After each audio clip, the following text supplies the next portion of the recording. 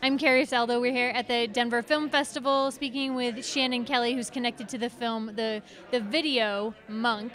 How did you get connected to these German electronic music makers? I've been familiar with Munk's uh, work um, for many years. I'm a DJ myself as well as an artist and filmmaker, and we were friends on Facebook.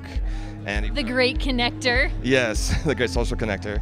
And he put out a call for music video directors, and I thought that's something I've wanted to do for a long time. I have a background in experimental film mostly, and and uh, and photography, so I thought that'd be a wonderful project to take on, and so I answered the call, and the rest is history.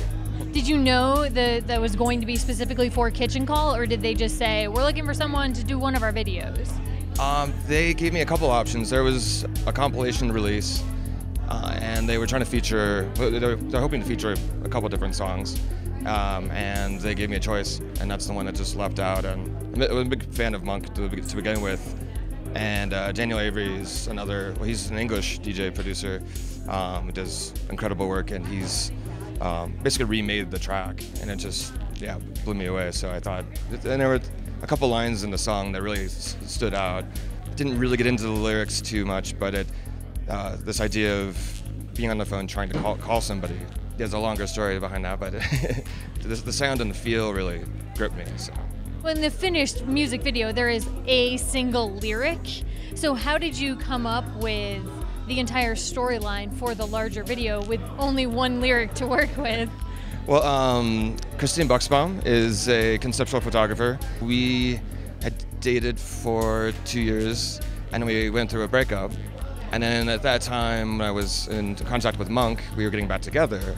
So it was very autobiographical in that sense. Um, we, I, I had a, an initial idea, and just sort of a spark of an idea, and she helped flesh out the narrative. I mean, she really set the tone for the narrative and a lot of the details in that and I was just thinking of ways to shoot the narrative, and then we both collaborated on basically all parts. But um, and she she edited the piece together, and I refined that, and so we just bounced it back and forth and refined it from there. So it's but the narrative itself is very autobiographical, and, and the- the- what we went through in being apart, and and the, the challenges and the struggle to get back together, and, and really make that connection again.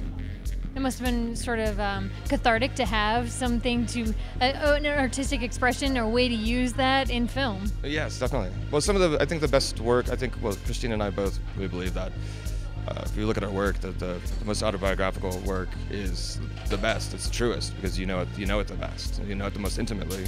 So you know, if there's truth in, in art and you're communicating something in some way, then a lot of it's sort of communicated in symbolic ways, so it's more general for people who watch it, experience it.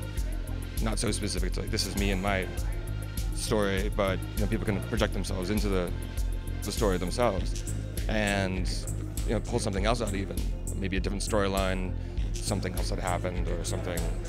Especially with only one lyric. What do you think it is about film as an artistic expression that you relate to? I would say storytelling, but I, it's such a visual medium. I, I don't know. It, it's, it's I grew up on cult movies and music videos, and that's what got me into film and video to begin with. And I studied film. Really wanted to explore the, the different facets of the, a visual medium that could tell a story i- i- in ways that words couldn't communicate, uh, in an unusual way too. So.